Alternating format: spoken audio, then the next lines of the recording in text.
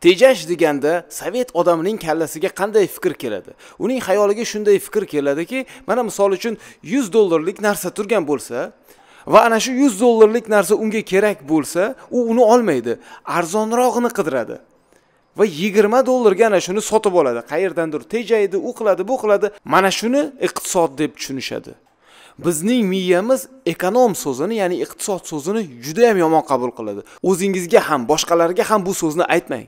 Nega deganda sovet odamining xayoliga ekonom so'zini eshitgandan keyin to'yib ovqat yemaslik piyoda yurishlik yaxshi kiyim kiymaslik mana shular xayoliga keladi.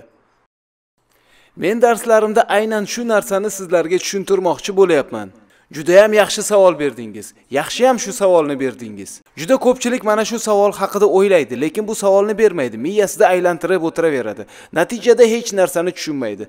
Savollar bormi tushunarlimi deganimda boshini chayqaydi lekin miyasida hech narsa bo'lmaydi.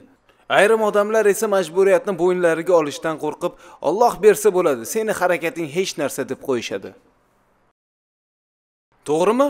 Ayrim odamlar o'ylashga erinib he olloh bersa bo'ladi-da deydi. Xuddiki u ollohning oldiga borib u bilan kelishuv tuzgan olloh unga men senga bermayman degandek. Bir narsani unutmang olloh har doim beradi. Kim aytdi ollohni bermaydi deb? Davom etamiz.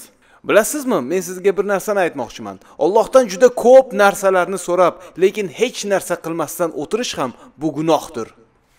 Sababi so'ragandan keyin shunga yarasha harakat qilish kerak. Biror sabab qilish kerak. Sen harakat qilasan olloh barokat beradi. Olloh shunday deydi sen harakat qilasan natijasini men beraman deydi. Demak har doim harakat qilish kerak. Mana misol uchun sizlarda farzandingiz bormi?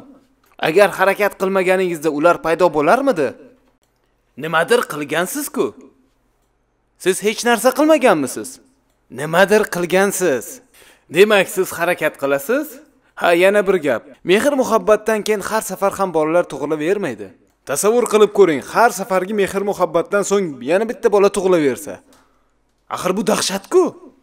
Shuning uchun harakat bizdan natija Allohdan. 100 marta qilasan bitta yaxshi natija olasan. Bu qonun borliq tabiat yaralish qonuni bu. Agar har safar farzandingiz tug'ilganida beshkekning yarmi qarindoshingiz bo'lardi? Bu nimani bildiradi? Hamma harakatingiz ham natija keltirmaydi. Hamma harakatlaringiz ham to'g'ri bo'lavermaydi. Va hamma rejalaringiz ham amalga oshmaydi. Bu degani hayotning o'zi shunday qurilgan. Bu tabiat qonuni bundan xafa bo'lish kerak emas. Alloh shunday yaratgan. Bundan o'rnak olish kerak va har doim harakat qilaverish kerak. Bo'lmadimi harakat qilish kerak? Xafa bo'lishga hojat yo'q. Natijaga erishmaguncha harakat qilaverish kerak. Sen harakat qil Alloh barakatini beradi. Sendan faqatgina harakat. Agar ishing o'xshamayotgan bo'lsa tahlil qil o'rgan o'qi va yana boshqatdan ana shu ishingni takrorla. Biror natijaga erishmaguncha qaytaraver.